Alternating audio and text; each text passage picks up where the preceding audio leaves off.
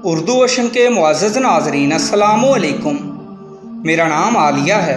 मैं सात साल की थी जब मेरी माँ का इंतकाल हो गया तो मेरे बाप ने जल्द ही दूसरी शादी कर ली। मेरी सौतेली माँ सारा दिन मुझसे घर के काम करवाती और खाने के लिए रूखी सूखी रोटी दे देती। मैं जिस्मानी तौर पर कमज़ोर थी, लेकिन फिर भी बहुत खूबसूरत थी। जब मेरी सौतेली माँ की औलाद हुई तो वो मुझसे और ज़्यादा बेजार हो गई। मेरे बाप को अपनी बीवी के अलावा कुछ नज़र ही नहीं आता था। सारा दिन घर से बाहर काम करता और सारी सारी रात अपनी बीवी को बंद कमरे में लेकर सोया रहता था। उसने भी कभी मेरी परवाह नहीं की थी। खैर, वक़्त गुजरता रहा और मैं चौदह साल की हो गई। एक दिन मैंने अपनी सौतेली माँ और बाप को कुछ ऐसी बातें करते हुए सुना के मेरे कान खड़े हो गए। मैं छुपकर उनकी बातें सुनने लगी। मेरी सौतेली माँ मेरे बाप से कह रही थी कि अब आलिया जवान हो चुकी है। उसकी शादी जल्द अज जल्द कर दी जाए तो बेहतर है। क्या पता वो किसी के साथ मुँह काला कर ले और हम किसी को मुँह दिखाने के लायक ना रहें। अगरचे मैं ज़्यादा पढ़ी लिखी और समझदार तो नहीं थी, लेकिन फिर भी ऐसी बातों का मतलब बाखूबी जानती थी। उस दिन मुझे अपनी माँ की शिद्दत से याद आई और मैं बहुत देर तक रोती रही। मुझे अपने बाप से अच्छी उम्मीद तो पहले भी नहीं थी। सो उसने अपनी बीवी की हाँ में हाँ मिला दी और एक महीने बाद ही मुझे पूछे बगैर मेरी शादी कर दी। मेरा शोहर तीस साल का हट्टा कट्टा जवान था और मैं चौदह पंद्रह साल की मासूम और कमज़ोर सी लड़की। क्योंकि मैं शुरू से ही जुल्म ज़्यादती बर्दाश्त करने की आदि थी, इसलिए ससुराल जाकर मुझे कुछ ख़ास फ़र्क महसूस नहीं हुआ। मेरी सास का घर पर पूरा रोब था और मेरा शोहर अपनी माँ से बहुत डरता था। वो रात को कमरे का दरवाज़ा खोलकर सोता था और जल्दी मेरे करीब भी नहीं आता था।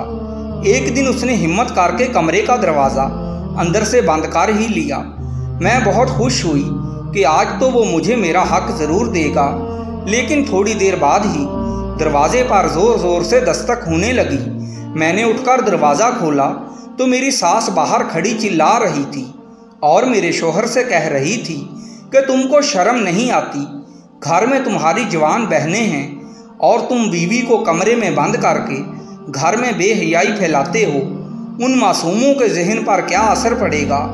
मेरा शोहर बेचारा अपना सा मुँह लेकर रह गया। हमेशा की तरह मैं उस रात भी बिन ब्याही रह गई। मेरी शादी को दो महीने बीत चुके थे। लेकिन मैं अभी तक कंवारी थी।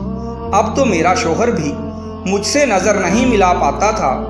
एक दिन मेरे पास आया और कहने लगा कि, आलिया, मैं तुमसे बहुत शर्मिंदा हूँ। मैं चाह कर भी तुमको शादी वाली खुशी नहीं दे सकता।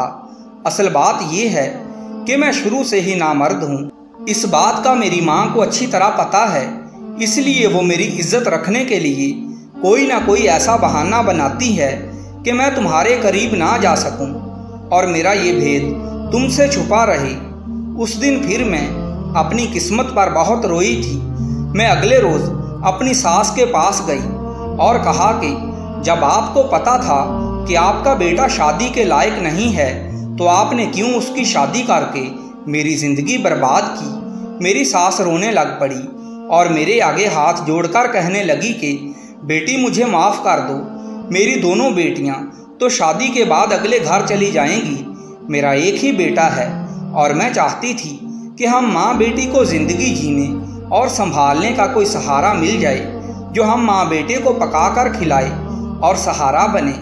इसीलिए मैंने ना चाहते हुए अपने बेटे की शादी कर दी। मेरी प्यारी बेटी, अब कभी हमको छोड़कर मत जाना। मेरी सास मेरे सामने रोए जा रही थी। मेरा दिल एकदम से भर आया मुझे पहली बार लगा कि मेरी भी किसी को ज़रूरत है। मैं सिर्फ़ फजूल नहीं हूँ, बल्कि मैं भी किसी का सहारा हूँ। मैं उठी और अपनी रोती हुई सास को गले लगा लिया। मुझे मेरी मरहूम माँ याद आ गई और मैं फूट फूट कर रो पड़ी। उस दिन के बाद से मुझे माँ मिल गई और मेरी सास और मेरे शोहर को सहारा मिल गया। मेरी नंद की शादी हुई तो उसने अपना पहला बच्चा मेरी गोद में डाल दिया। यूँ मेरी अधूरी ज़िंदगी किसी हद तक मुकम्मल हो गई। प्यारे नाजरीन, बताइएगा, क्या मैंने शोहर और सास को ना छोड़ने का ठीक फैसला किया था? और हमारे चैनल को सब्सक्राइब ज़रूर कर दीजिए, ताकि आने वाली हर नई वीडियो आप तक पहुँच सके। शुक्रिया।